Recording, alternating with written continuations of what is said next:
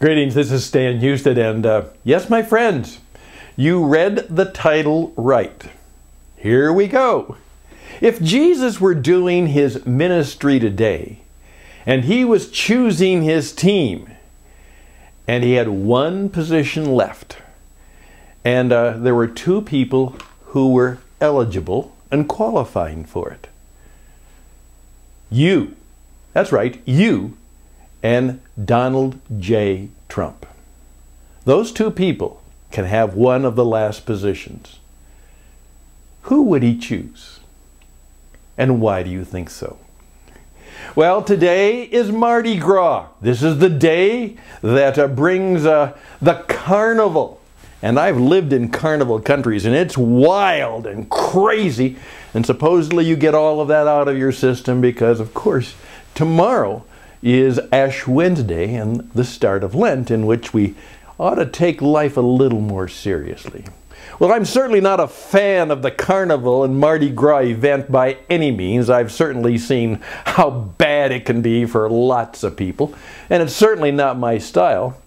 But it is where people do uh, some wild and crazy things. So I thought this topic might be just wild and crazy enough to uh, set us up for thinking about some serious things because starting in Lent, I am going to do a series of meditations and presentations on this subject being an apprentice to Jesus the entrepreneur. During Lent, I'm going to seek to discover what it would mean to be an apprentice to Jesus the master entrepreneur and how that could help me in my life, in my business, and the career of service that I'm seeking to have. And particularly for those of us who perhaps are in our encore career. This is our final go at it. How about us? And this might be the uh, Lenten time we discover our encore purpose, mission, and joy and hope. So that's what I would like to do today with your permission on Mardi Gras Fat Tuesday to talk about that subject. Exactly that. Now, of course, uh, this is going to make some people mad and it might make people glad. By the way, I'm not going to show any overt bias, but I will at the end proclaim a little bit of a bias that might be influencing my thinking as I, I kind of lead the discussion on this. I also know, as I said, people will get upset, and uh, that's okay. My spirit is clean because my intentions are clean. Uh, years ago, when I was uh, trying to write my first book, I was talking to an editor, and uh, she was very strong with me, and she said a lot of the questions that go into uh, writing a book. And then uh, she said to me, uh, "Well, Stan, what do you want people to, you know, to feel or do or think about your book?" And I said, "Well, you know, I, I, I want it to be helpful and useful, and I want people to like it." And she put her hand up and said, Stan, you don't want people to like your book. No, you want them to hate it or love it. Think about that. You want them to hate it or love it. Vanilla is like. Make it bold. Make it bright. Make it powerful. Make it challenging. They'll love it or they'll hate it. Well, I, I don't know if that'll be quite the feelings that come out of this little 20 minutes or so, or whatever it lands up being, but here we go. If Jesus were doing that today, I think from my leadership work and my long studies that I've identified seven things that I think he might be looking for. Now, there are a lot more, uh, I'm sure, and obviously we don't have anywhere near the mind of Jesus that we should we should try to do that, you know, kind of have the mind of Jesus Christ, but we're going to miss it no matter what we come up with or no matter how bright or how hard we try. You know, you first of all might say as well, uh, you know, oh, Jesus would choose the one who would be the better Christian. Oh, really? uh, you or Donald Trump? Who's the better Christian? Uh, how would you define what a better Christian is? And would that be what Jesus is truly looking for? Well, I just simply ask the question because That is the usual answer I get when we decide who would be kind of in the uh, select circle that he might choose to do the work. I think, first of all, he wants somebody who's bold, a bit of a disruptor, kind of, you know, someone who uh, moves things around, uh, someone who kind of is, uh, you know, rock and roll guy. Uh, he chose Peter and he named him Rocky. And we know the story. Peter, one of the boldest and brightest and bravest and toughest, and also a betrayer. Um, but the character of Peter tells us something that perhaps uh, he wants some boldness and some disruption and some people who uh, really move and uh, have that spirit about them. I also think he would like someone who would be a little bit entrepreneurial. Now, he was himself. You know, uh, he wasn't a teacher, he wasn't a prophet or a priest. Uh, it doesn't seem that he had any formal education that we talk about, except that what a, young Jewish boy at that time would have received in the home or in the community or in the synagogue. Uh, it doesn't seem that he, uh, and there were universities of uh, sorts at that time. There were places of higher education of sorts, but it doesn't seem that any of that was part of the deal. Uh, Peter was a businessman. he had his own fishing business, tough business. Jesus was probably uh, a kind of a handyman. We oftentimes say carpenter, but uh, as the word is, it, it's someone who does a kind of fixing up, repair work, uh, was more of the term of it. And it, it also appears that some people think that he was actually a bit of a stonemason, that that was the kind of the work he did. And uh, obviously, he must have been pretty good at it. Um, and uh, obviously, he did good work. And uh, he uh, got the business. He had a mother and a brothers and sisters, it appears, that he has to help support. And uh, that's what he did. So he was probably seeking someone who was a bit entrepreneurial, a bit creative, because uh, after a while he's going to take three years and then he's going to say, hey guys, hi gals, go do it. You're on your own. Except there's going to be one addition. And I think some of you know what that might be. But uh, you know, uh, you won't you won't get the training manual. You won't go training. You, you you're going to have to once you uh, learn the deal, you're going to have to do the deal yourself. So I, I think he was looking for people who were at least he sensed entrepreneurial. I think he was looking for people who needed saving. you know, uh, these were quite some characters. Well, you know, Matthew Matthew was a crook. you know, he was cheating people. He was working for the Romans, perhaps, uh, and uh, he was a bit of a crook, as uh, many politicians or politicals were.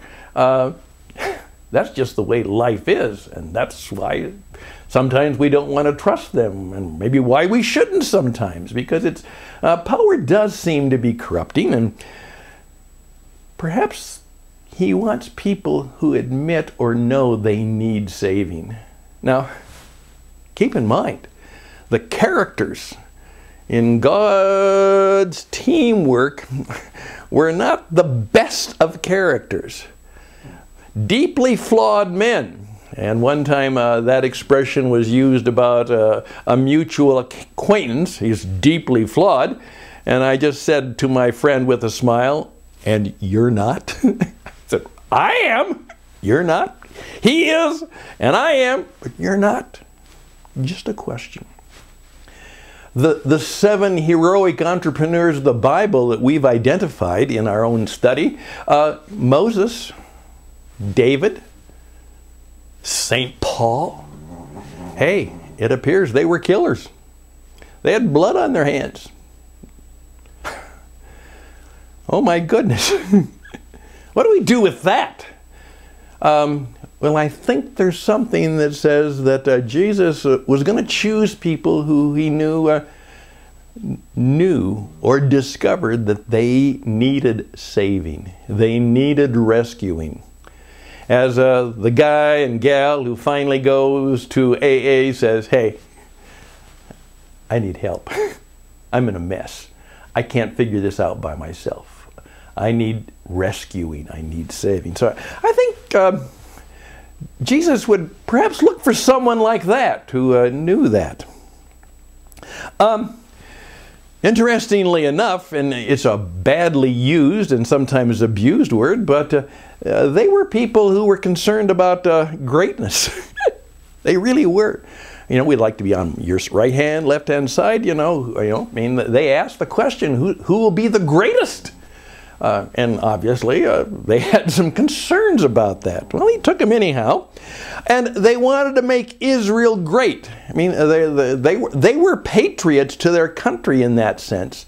Uh, they were certainly people of the law and of uh, Jewish faith, but that was pretty well centered in their uh, particular uh, country, the, the, people of Israel, the tribe that they were from. Now, Jesus began to confront that, and later on, of course, St. Paul really brings that home. And one of the hardest things for them, but they took it well, was that uh, it was greatness for all people. But they were, uh, they were people who talked about that and uh, what it meant. And what Jesus had to do is he had to show them what true, unique greatness really was. And he introduced some uh, thinking that uh, we would call paradox.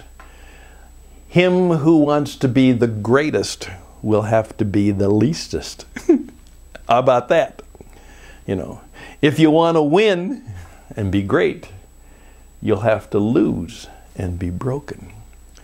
And so I think he would like to deal with people who were dealing with the issue of what it means to be great and how to be truly great.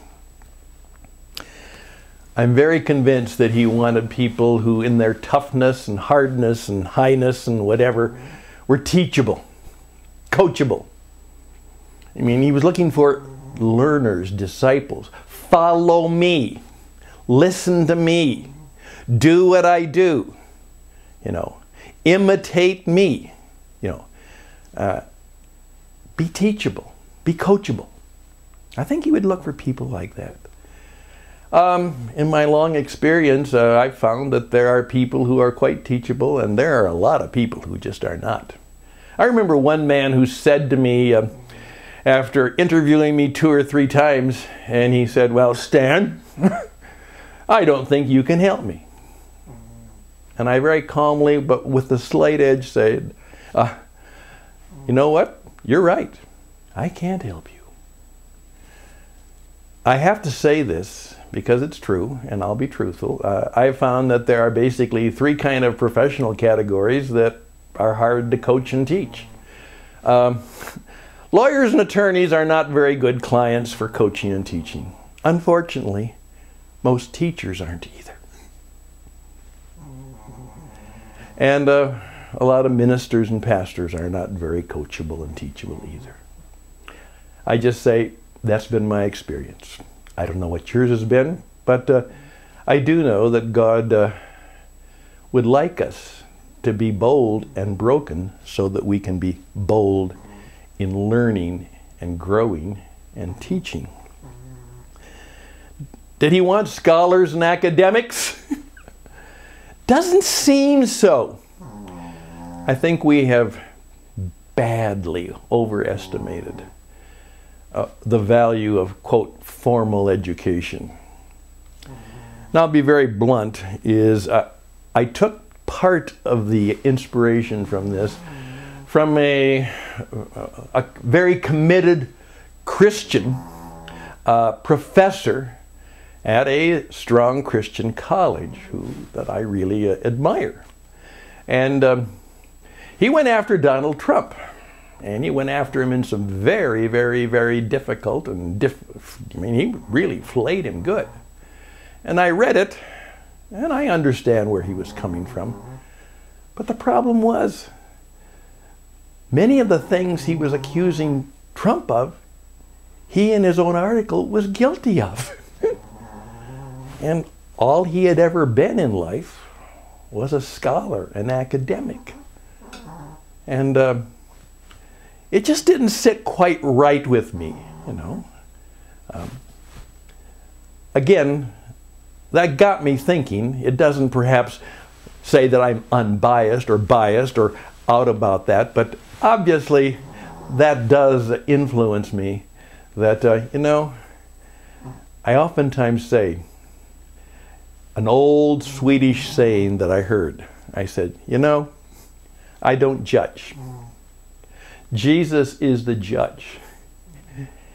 That's what we pay him for. It's above my pay grade. Jesus is the judge. He'll decide. And as the old Swedish guy said, yep, that's right. that's what we pay him for. well, I think he would have wanted somebody who really loved people. He must have known. Because that was the deal. you finally have to, in some ways, know that all of this is all about showing that God loves you. We're going to discover in some of our teaching that, you know what? There are four certainties in life, and three of them are bad. If you are born and you live and you grow up, you will face every day uncertainty of possible opportunity and victory or tragedy and defeat. That's what life will be like. Life will be difficult. But if you survive and grow old, the second certainty is that if you uh, grow old, eventually you'll get weaker and sicker. Yeah. The body will wear out. Maybe the mind. It will.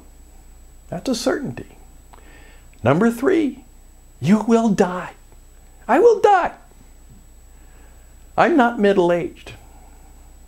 I don't have many years left. Maybe you don't either. Am I in the fourth quarter? For sure. Uh, but that's a certainty. And here's the fourth certainty no matter what, God loves me. I am loved. Those are the four certainties of life. And three of them are not so good. But thank God, one is. I think he also was looking for people who he knew when the power came. That's right. When the spirit force power came and the light went on, they would have what it takes to go and teach to do acts of courage, to perform acts of healing, acts of connecting, acts of boldness. That once the power came and the light went on, they would have what it takes. Would Jesus choose you to be on the team? Would he choose Donald Trump to be on the team? And which of the two do you think he might choose? Actually, the choice is yours. Choose well. I'm Stan Houston. This is Mardi Gras. This is Ash Wednesday Eve. This is the time when we journey to find out how we can live more full, and more fully alive and more spirit force and more uh, sparking on fire life as a Jesus entrepreneur, as a follower of the master entrepreneur. It's a 40 day journey. Join me. Let's see what happens. Let's see what miracles might happen. Let's see what mysteries are solved. And perhaps we'll learn what it is that we are to do in the year before us. All the best and blessings for you. Stan Houston at gmail.com, Stan Houston at gmail.com. right now I would appreciate your financial sponsorship for the work we do. Uh, please do that. I would be grateful. And my wife Karen would be grateful too. Thank you. May it go well for you. Bye for now.